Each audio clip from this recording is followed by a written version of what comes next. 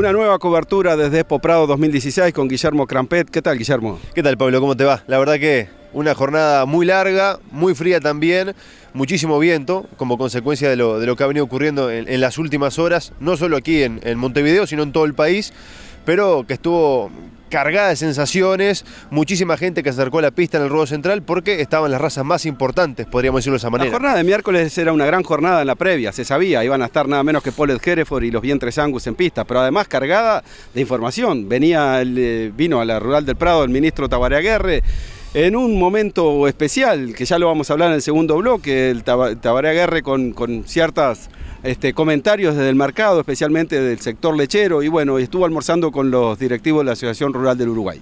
Pero si te parece, empezamos en las pistas. Claro. ¿Dónde estamos? Se conocieron eh, los principales, lo, los grandes campeones en, en Paul Hereford.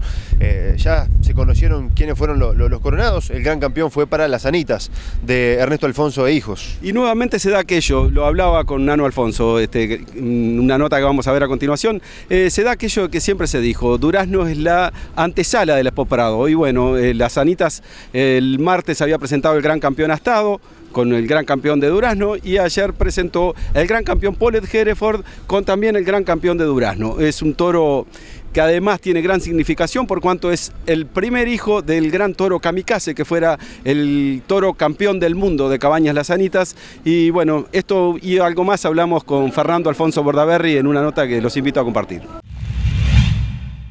Nano, nunca te habían dicho que Durazno es la, la, la, antesala del Prado. Los dos grandes campeones, Mucho y Gastado Durazno, los repetiste acá en el Prado. Sí, se confirmó. Este, en Durazno vienen muchos de los animales que vienen hoy acá.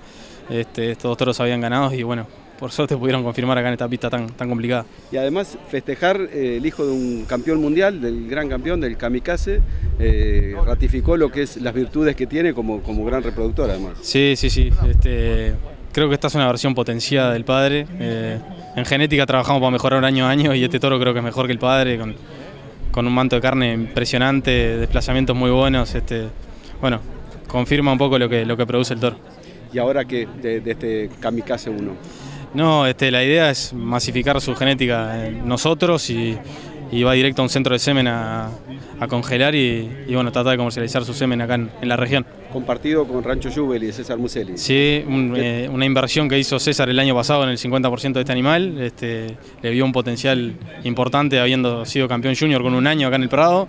Este, y bueno, es una gran alegría porque compartir, eh, que la gente invierta en, en estos productos y que, que, funcionen bien y sobre todo que, que, puedan producir muy bien eh, es algo que a nosotros nos pone muy contentos. Que comercialmente también sirve, compartir la genética, que alguien haya apostado como Museli en este caso en las Anitas y sacarlo gran campeón del, de Durazno y del, del, Congreso Mundial de Prado. Sí, sí, por supuesto. Este, los premios son consecuencia, lo importante es que el animal este, produzca bien y, este, y tenemos cifradas esperanzas en este toro por tiene dos familias consistentes eh, abajo en la línea materna y bueno, eh, veremos a ver cómo, cómo, arranca. Si la matemática no me falla, ayer eran 28, hoy son 29 grandes campeones sí, de la Sanitas. Impresionante, eh, impresionante. La verdad que eh, un orgullo muy, muy importante. Ya, Nano, Muchísimas gracias.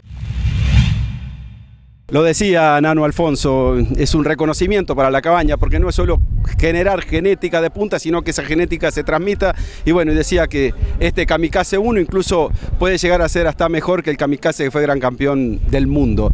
Pero además el reservado gran campeón fue de otra cabaña tradicional, de Cabaña de la Elisa, de Walter Carlos Romay, y el tercer mejor macho fue de la Sociedad Ganadera San Salvador, con lo cual se generó una pista muy elogiada en, en, Expo Prado de los Poles Hereford con este, un jurado sudafricano JP Butler.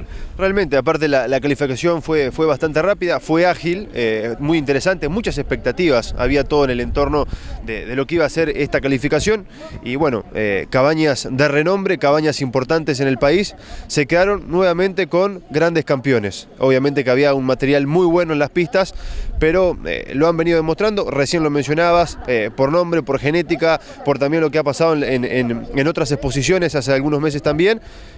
Alfonso e hijos mostraron ser los grandes campeones y Walter Carlos Romay y el Orsa se quedó con el reservado gran campeón. Si te parece hacemos una pausa. Sí, así.